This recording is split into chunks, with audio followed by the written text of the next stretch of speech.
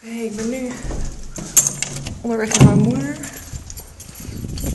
Ik ga even naar de stad. Ik heb mijn moeder even opgebeld om te vragen of ze meeging.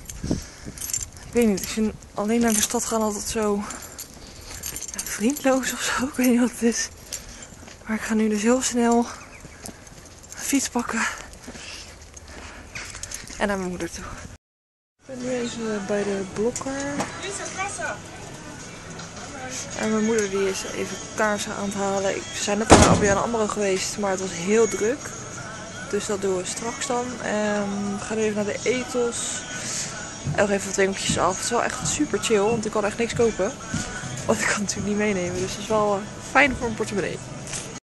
Nou, ik loop nu even in de meeste Etam en ik zoek mijn moeder. Maar ik ben net even bij de WCC geweest. Mijn vriend die moest nog even een eh, USB-stick hebben. Volgens mij is hij de paskamer. Hmm. Dat is altijd leuk als je moeder kledingwinkel in gaat, omdat je gelijk niet meer ze is. Eh, ik ben ook bij de ABN geweest, maar dat was niet zo'n succes. Want ik kan geen creditcard aanvragen omdat ik geen, nog geen vast inkomen heb. Dus uh, ik moet maar even kijken hoe ik dat doe. Ik ga nu even mijn moeder zoeken en dan gaan we zo naar huis. Zo, ik ben nu net terug uit de stad. Ik loop nu bij mij thuis en ik ga nu even naar mijn moeder om wat dingen uh, uit te printen. En mijn bikinis liggen daar nog. En mijn moeder was net boodschappen doen, dus die vroeg ik wat spullen van haar mee kon nemen. Dus die ga ik uh, even in mijn mooie fietstassen doen en dan ga ik naar mijn moeder. Het is trouwens echt een bizar idee dat ik over vier dagen al in Australië ben. Dat is echt zo raar. Het is nog niet echt, um, ja, wat ik ook wel eens zeg. Ja, het is gewoon een raar idee. Ik wat ik net al zei over dat ik het raar vind dat ik over vier dagen naar Australië ga. Ik zeg het ook wel vaak tegen mijn ouders en zo, dat de voorpret is dan wel heel leuk. Van dat je tegen iedereen kan zeggen dat je naar Australië gaat en zo. Maar uh, ja, het is dan, dan daarna denk je, oh het komt zo dichtbij, ik, ik ga het nu echt. Dat is heel bizar. Ik ben nu zo alles aan het regelen. Dat de tijd ook zo snel gaat. Dat is heel, heel raar. Uh, ik maar links ga. Even wachten. Ik zit op de fiets. Maar uh, ja, ik vind het echt super spannend. En het is voor mensen om me heen volgens mij alleen maar irritant dat ik zo onwijs veel over Australië praat. Ik me wel een beetje voorstellen. Een tijdje oh, shut up, weet je wel, praat ergens anders over. Ja, het is gewoon raar. Zo, ik ben nu bij mijn ouders thuis. Uh, ik ga nu even wat uitprinten boven. Echt zo cute. Mijn moeder heeft altijd krijgt altijd best wel veel kerstkaarten van kennissen en vrienden en zo. Die hangt, pakt ze altijd op de deur. Eerst hing ze altijd hier op de deur bij de gang, maar nu daar echt schattig. En ik wacht zo nog wel even tot mijn moeder thuis is. Gewoon even gezellig. Ik loop even naar boven. Oh, dan kan ik je gelijk mijn oude kamer laten zien. Echt heel raar. Dit was mijn kamer. Het is nu één grote... Oh my god, het is ook de eerste keer dat ik het nu zo zie. Eén grote opbergkamer geworden. Oh my god. Echt weer, daar stond mijn bed altijd. En hier mijn bureau. Oh nee, daar stond mijn bureau. Hier stond mijn make-up kastje, daar stond al mijn bureau. En mijn kasten. Zo. Het is nu helemaal volgebouwd, want hier staan heel veel spullen van mijn oma. Die is ja, naar een ander thuis verhuisd, zeg maar. Dus daar moesten ze heel veel spullen weghalen. Dit is het kantoortje. En ik heb even wat dingen meegenomen om te kopiëren, zoals mijn diploma en het internationale rijbewijs van mijn vriend. En de paspoorten, even een kopietje van maken. Kijken of nog iets bijzonders heb. Nee. Zal je dan net zien dat nu het internet het niet doet. Oh, ik word gek. Ik ben nu wel allemaal andere dingen aan het uh, um, kopiëren. Maar ik moest dus, we hebben een visum aangevraagd. En dat gaat via internet krijg je dan je visumnummer. Die zon is trouwens heel irritant.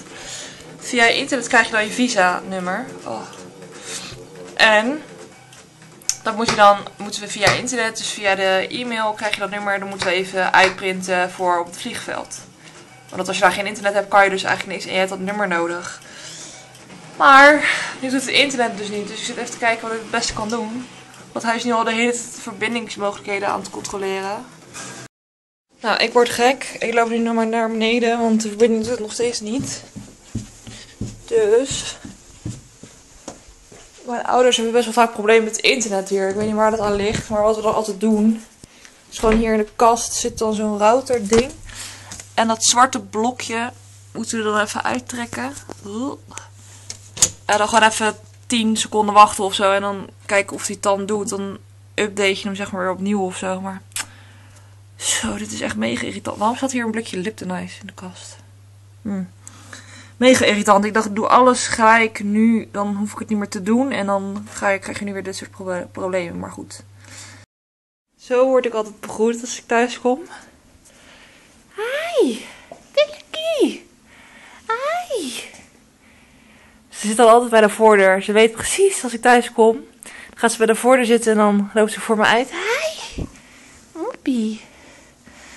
En als haar ritueel is altijd dat ze op de grond gaat liggen. Zo schattig. En volgens mij voelt zij ook ergens dat we weggaan. Want het klinkt heel stom, maar volgens mij zijn katten daar best wel gevoelig voor. Dat ze zien dat wij dan heel erg druk bezig zijn en ik met inpakken en zo, dat ze dat toch een beetje merkt of zo. Want ze is heel erg knuffelig. Echt heel erg. Meestal, ze is best wel op zichzelf, maar ze is ook wel echt een knuffelkontje. Ze vindt het ook wel prima. Maar nu is het wel echt, uh, was het is wel heel erg. En de konijntjes. Die gaan naar mijn ouders morgen. Morgen heb ik een hele drukke dag. Dan, uh... oh dat doet ze ook altijd. Zo grappig. Gaat zo de nacht in het kussen zetten morgenochtend gaan we eerst uh, naar mijn vriends huis, naar mijn ouders, zijn oudershuis, om de auto op te halen. Van zijn moeder, die lenen we dan even en dan gaan we allemaal dingen gaan we dan verhuizen.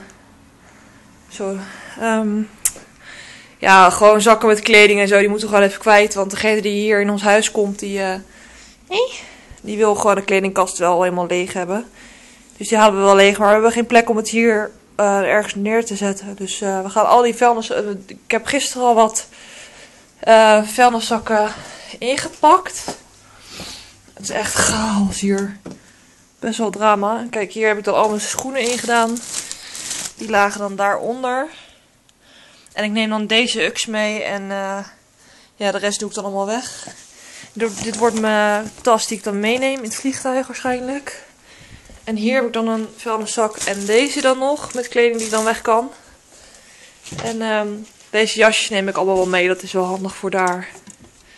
En um, ik heb mijn twee planken heb ik al leeggemaakt. Die, zat, die lag allemaal kleding op en dit is dan, ja dit is dan een broek die ik dan aantrek in het vliegtuig. Gewoon een lekkere baggy broek zeg maar.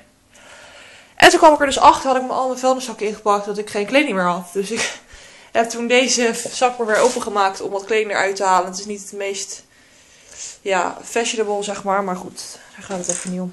Dus, uh, en hier zijn allemaal spullen die ook nog weg moeten. Deze spullen allemaal. Mijn badhanddoek die ook in mijn koffer moet. En hier staat mijn koffer. Die hou ik maar gewoon hier in de gang, zodat ik er af en toe wat dingen in kan doen. Waarvan ik denk van, oh, die heb ik wel nodig. Dus uh, dat gaan we morgen doen. En morgen gaan we de kat en de konijnen gaan we verhuizen. De konijnen gaan naar mijn ouders en de kat gaat naar mijn zus. Dus alles moet, uh, moet mee. Dus dat is wel handig, want mijn vriendse ouders hebben een hele grote um, Renault Kangoo auto. Dus daar kan heel veel in. Ik heb even eten gehaald. Ik heb alleen maar een boterham op vanochtend. Dus ik heb heel veel croissantjes gehaald. Een beetje ongezond. Uh, energiedrank en chocolaatjes. Daar had even trek in. Dus ik ga nu. Ik heb wat dingen gekopieerd. Um, internet deed het niet. Dus ik heb gewoon ja, in een map allemaal dingen gedaan. Uh, mijn identiteitsbewijs even gekopieerd en mijn paspoort. En mijn bikinis opgehaald. Dus uh, nou, behalve de visum en mijn cv uitprint is bijna alles geslaagd. Dus ik ga nu even eten. Yum yum. Croissantjes eten en even GTS'en terugkijken.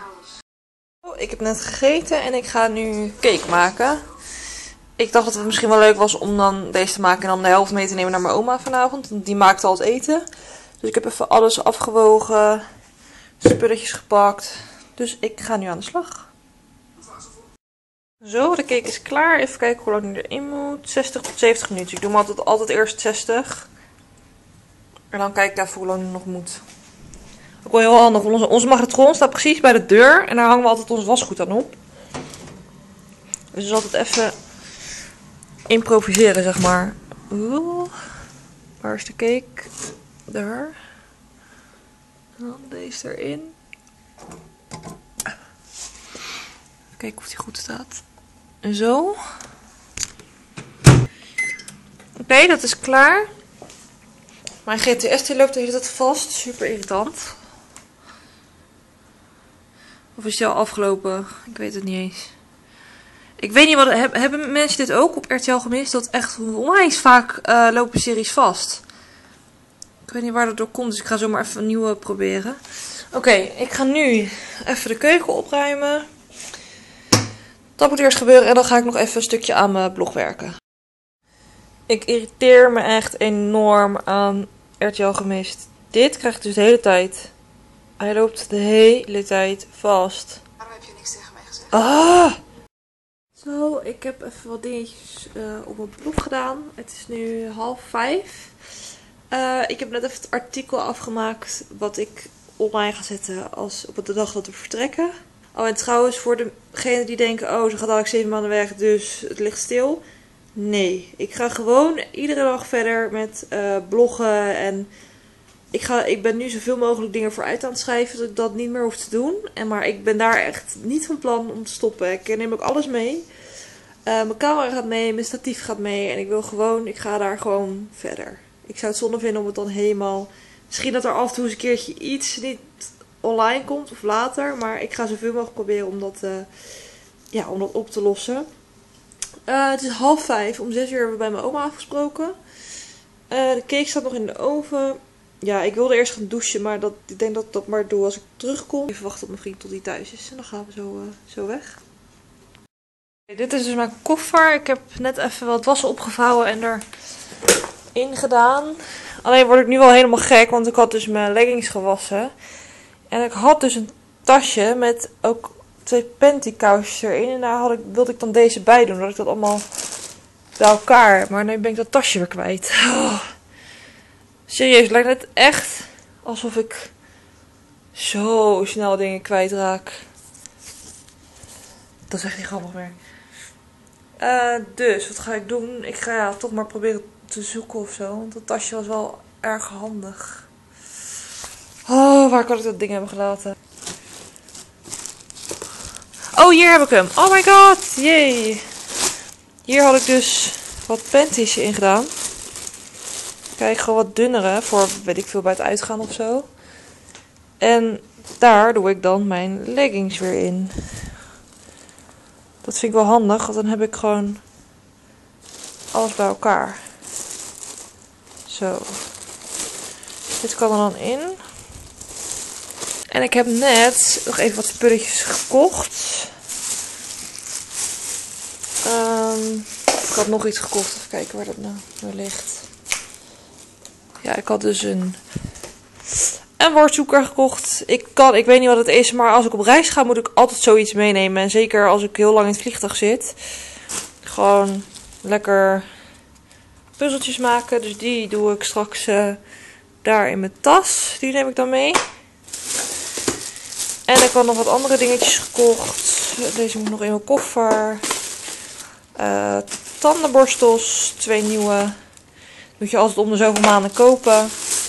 De meeste doe ik wel. Even kijken. Ik heb voor de zekerheid, dit is echt grappig. Ik heb voor de zekerheid Otrivin meegenomen. Want als ik verkouden ben of iets dergelijks, krijg ik altijd nou ja, bijna altijd een oorontsteking. En daar is in principe vrij weinig aan te doen. Maar als ik verkouden ben, dan werkt niks tegen een verstopte neus. Behalve Otrivin. Dat is echt belachelijk. Ik heb zoveel dingen geprobeerd. Uh, zoutoplossingen, uh, de ui naast mijn bed. En gewoon alles om maar uit te stellen dat ik neuspray moet gebruiken. Maar niks helpt. Oh, de cake is klaar. Yay. Niks helpt. Dus ik heb voor de zekerheid toch maar Otrivin meegenomen. Ja, mijn moeder zei van ja, op zich kan je daar ook kopen. Maar ik weet nog dat we een keer op vakantie waren in Turkije. En toen werd ik natuurlijk verkouden, kon ik niet slapen, kwam waarschijnlijk door de airco daar op de kamer. En toen heb ik me helemaal rot lopen zoeken naar Otrivin daar, dus dat was niet zo fijn. Uh, verder heb ik nog elastiekjes gekocht. Ik heb nog wel elastiekjes hier ergens liggen. Maar ik dacht, dan heb ik ze zo bij elkaar, dus het kan nog gelijk in mijn tas. Dan, dit is echt al erg. Twee uh, Essence All About matpoedertjes om mee te nemen. Ik heb er nu nog wel eentje, dus dan heb ik er drie in totaal. Ik heb echt geen flauw idee hoeveel ik op ga maken. Maar ja, je kan maar uh, beter meenemen. Dan heb ik toch twee minis gehaald bij de Ethos. Een mini tonic en een mini uh, reinigingsmelk. Voor, uh, ja, voor als ik daar ben, hoef ik niet gelijk zo'n grote fles te kopen. haarspeltjes had ik nog nodig. Die van mij raken al. Ik denk dat iedere ieder meisje dat wel heeft, of vrouw, dat je elastiekjes koopt en haarspeltjes en je raakt ze altijd kwijt.